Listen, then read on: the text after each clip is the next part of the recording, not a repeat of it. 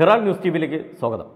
പല വിഷയങ്ങളിലായി സമ്മർദ്ദത്തിനടിപ്പെട്ട് വളരെ വലിയ പ്രതിരോധത്തിൽ നിൽക്കുന്ന മുഖ്യമന്ത്രിയുടെ ഓഫീസിനെതിരെ ഇപ്പോൾ റവന്യൂ വകുപ്പ് വലിയൊരു തീരുമാനമെടുത്തിരിക്കുകയാണ്. മുഖ്യമന്ത്രിയുടെ ഓഫീസ് റവന്യൂ വകുപ്പിനകത്ത് നടത്തുന്ന ഇടപെടലുകൾക്കെതിരെ വളരെ ശക്തമായ തീരുമാനമാണ് ഈ ചന്ദ്രശേഖരന്റെ ഓഫീസ് ഇപ്പോൾ കൈക്കൊണ്ടിരിക്കുന്നത്. റവന്യൂ വകുപ്പിന്റെ തീരുമാനങ്ങൾക്ക് മേലെ മുഖ്യമന്ത്രിയുടെ ഓഫീസ് ഇടപെടുന്നു എന്ന് പറയുന്ന ഒരു വിവാദം അങ്ങനെ ഒരു വിമർശനം കുറച്ച് നാളായി നിലനിൽക്കുകയാണ്. പ്രത്യേകിച്ചും ഭൂമിയുടെ കാര്യത്തിൽ.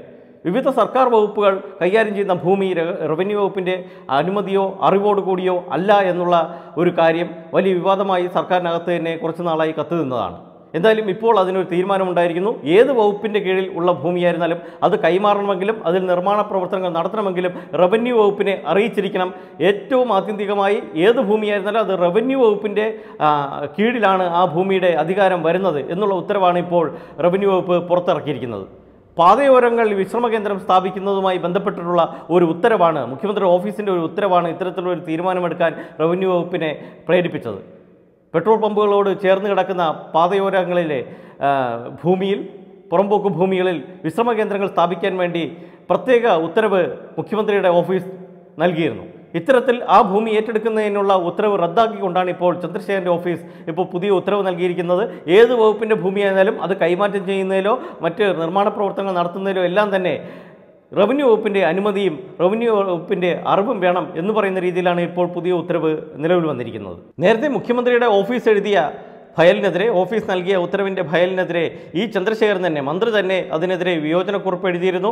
അത്തരത്തിൽ വളരെ വലിയൊരു സംഘർഷം വകുപ്പുകൾ തമ്മിൽ തന്നെ നിലനിൽക്കുന്ന ഒരു സാഹചര്യമുണ്ടായിരുന്നു. എന്തായാലും മനസ്സിലാകുന്നത് മുഖ്യമന്ത്രി ഓഫീസും മറ്റ് വകുപ്പുകളും തമ്മിൽ യാതൊരു രീതിയിലുള്ള പരസ്പര ബന്ധമോ പരസ്പര സഹകരണമോ ഇല്ല എന്നുള്ളതാണ്.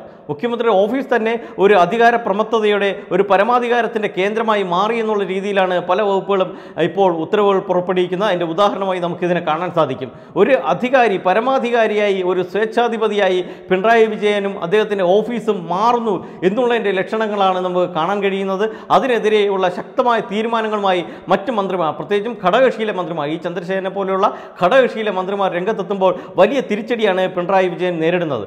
കഴിഞ്ഞ കുറച്ച് നാളുകളായി അദ്ദേഹം വലിയ തിരിച്ചടി പോലീസ് സംവിധാനത്തിന്റെ പേരിൽ ആഭ്യന്തര വകുപ്പിന്റെ പേരിൽ ഒക്കെ തന്നെ നേരിടുമ്പോൾ ഇപ്പോഴിതാ ഭൂമിയുടെ പ്രശ്നത്തിലും റവന്യൂ കാര്യത്തിലും അദ്ദേഹത്തിന് ഇപ്പോൾ തിരിച്ചടി നേരിട്ടിരിക്കുന്നു എന്ന് നമുക്ക് പറയേണ്ടി വരും. ഒരു പരമാധികാരിയുടെ റോൾ പിണറായി വിജയൻ വെച്ചൊഴിയേണ്ട കാലം അതിക്രമിച്ചു കഴിഞ്ഞു. ഇനിയും ഒരു പാർട്ടി സെക്രട്ടറിയെ പോലെ എല്ലാത്തിനും ഒറ്റ ഉത്തരം എല്ലാത്തിനും ഒറ്റ വാക്ക് എല്ലാ കാര്യങ്ങൾക്കും ഒറ്റ ആളിലേക്ക് സമീപിക്കുക എന്ന് പറയുന്ന രീതിയിലേക്ക് ഈ ഭരണത്തെ ഇനി മുന്നോട്ട് കൊണ്ടുപോകാൻ സമ്മതിക്കില്ല എന്നാണ് ഘടകകക്ഷികൾ അടക്കം പറയുന്നത്. അതുപോലെ തന്നെ സി പി എമ്മിലെ മന്ത്രിമാരടക്കം ഇപ്പോൾ അങ്ങനെ പറഞ്ഞു തുടങ്ങിയിരിക്കുന്നു. പ്രത്യേകിച്ചും തോമസ് ഐസക് അത്തരത്തിൽ ഒരു പ്രസ്താവന നടത്തി മുന്നോട്ട് വന്നിട്ടുണ്ട്. എന്തായാലും പരമാധികാരി എന്ന് പറയുന്ന നിലയിൽ നിന്ന് പിണറായി വിജയന്റെ പതനമാണ് ഇപ്പോൾ ഉണ്ടാകാൻ പോകുന്നത്. അത്തരത്തിലുള്ള പതനത്തിന്റെ തുടക്കമാണ് ഇത്തരത്തിലുള്ള ഇപ്പോൾ ഈ പുറത്തിറങ്ങിയ റവന്യൂ വകുപ്പിന്റെ ഉത്തരവിലൂടെ നമുക്ക് മനസ്സിലാക്കാൻ കഴിയുന്നത്.